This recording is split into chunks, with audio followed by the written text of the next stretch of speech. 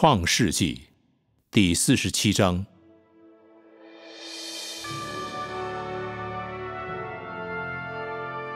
约瑟进去告诉法老说：“我的父亲和我的弟兄带着羊群、牛群，并一切所有的，从迦南地来了。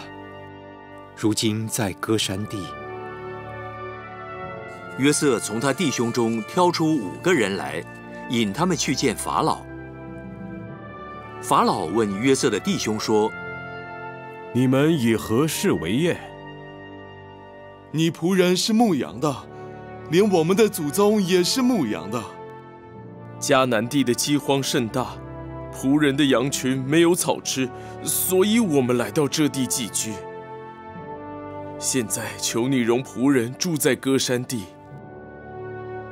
法老对约瑟说：“你父亲和你弟兄到你这里来了，埃及地都在你面前。”只管叫你父亲和你弟兄住在国中最好的地，他们可以住在歌山地。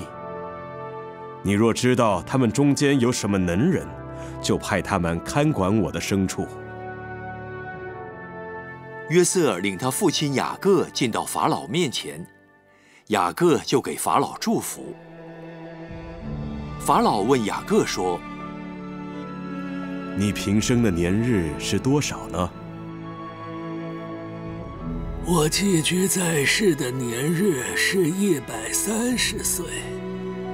我平生的年日又少又苦，不及我列祖在世寄居的年日。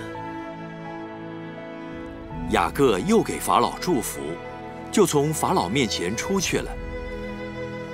约瑟遵着法老的命，把埃及国最好的地，就是兰塞境内的地。给他父亲和弟兄居住，作为产业。约瑟用粮食奉养他父亲和他弟兄，并他父亲全家的眷属，都是照各家的人口奉养他们。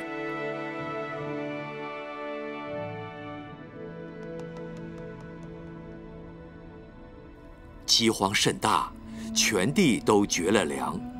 甚至埃及地和迦南地的人因那饥荒的缘故都饿昏了。约瑟收据了埃及地和迦南地所有的银子，就是众人敌粮的银子。约瑟就把那银子带到法老的宫里。埃及地和迦南地的银子都花尽了。埃及众人都来见约瑟。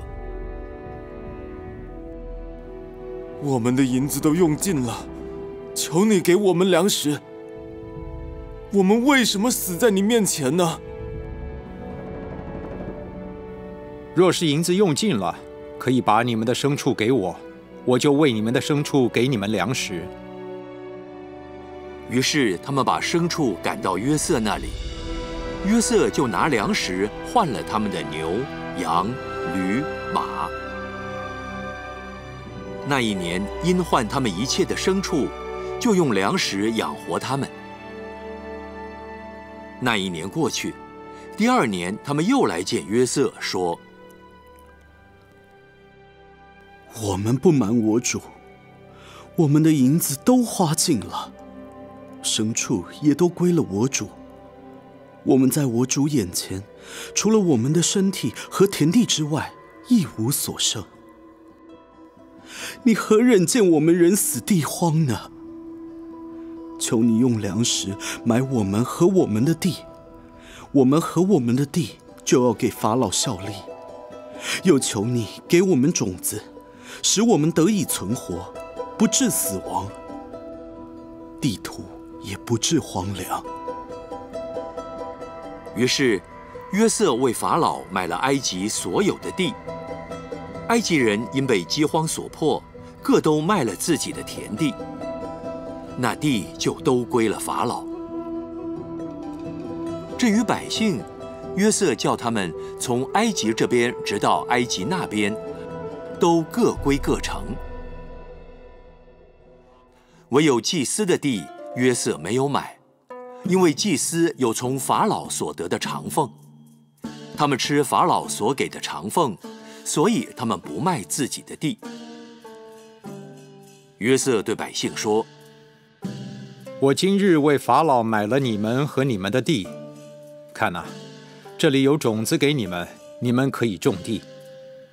后来打粮食的时候，你们要把五分之一纳给法老，四份可以归你们做地里的种子，也做你们和你们家口孩童的食物。救了我们的性命，但愿我们在我主眼前蒙恩。”我们就做法老的仆人。于是约瑟为埃及地定下常例，直到今日。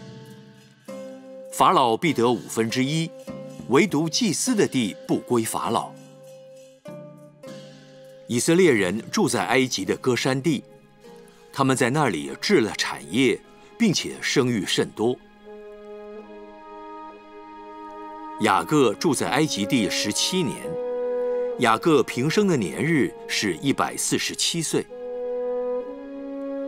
以色列的死期临近了，他就叫了他儿子约瑟来说：“我若在你眼前蒙恩，请你把手放在我大腿底下，用慈爱和诚实待我。请你不要将我葬在埃及。”我与我祖、我父同睡的时候，你要将我带出埃及，葬在他们所葬的地方。我必遵着你的命而行。你要向我起誓。约瑟就向他起了誓。